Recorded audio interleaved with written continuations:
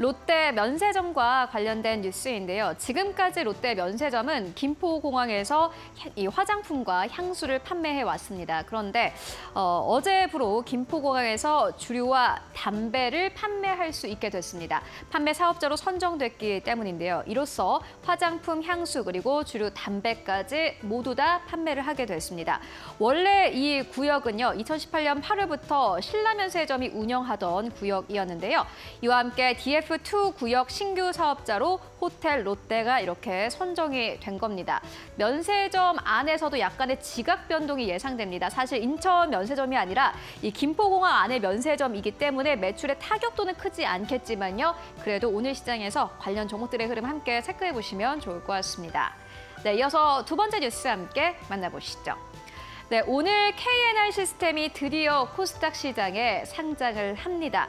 인기 기업인데요. 이 KNR 시스템은 이 로봇 기업으로 분류할 수 있습니다. 유압 로봇 핵심 부품을 개발하고 또 제조하는 기업이기도 합니다.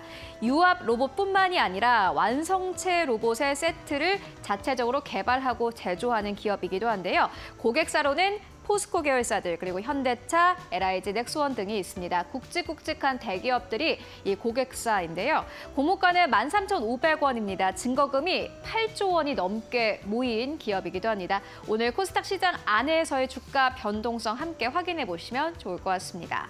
네, 이어서 세 번째 뉴스 함께 만나보시죠. 네, 파라다이스입니다. 파라다이스가 코스피 이전 상장을 추진합니다.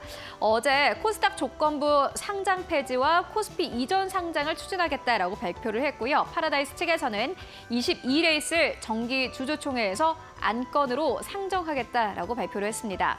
파라다이스가 이렇게 코스피 쪽으로 이전 상장하면서 기업 가치 재평가 유도를 희망한다라고 함께 밝히기도 했는데요.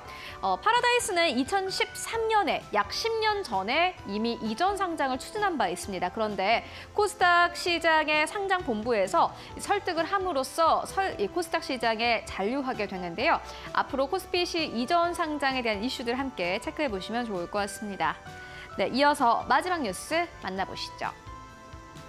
전 세계 3대 신용평가사 중 하나인 피치가 한국의 신용등급을 AA-로 유지를 했습니다. 피치는 2012년에 한국의 신용등급을 A 플러스에서 AA-로 상향 조정한 바 있는데요. 그 이후로 계속해서 유지가 된 겁니다. 아, 그리고 여기에 더불어서 국가 신용등급 전망을 안정적으로 함께 유지하기도 했습니다. 어, 사실 피치가 이렇게 한국의 신용등급을 AA-로 유지한 이유를 여러분들 잘 살펴 보시는 게 중요해 보이는데요.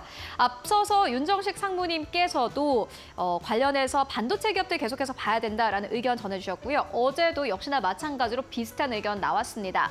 반도체 부분에서 AI 수요의 수출 반등이 예상되기 때문이다라고 피치는 밝히기도 했는데요. 특히나 한국은 고금리 위험에도 리스크를 잘 관리하고 있는 국가다라는 평가를 내리기도 했습니다. 반도체 쪽으로 계속해서 수출 기대감 나오고 있습니다. 계속해서 함께 확인을 해보시면 좋을 것 같고요.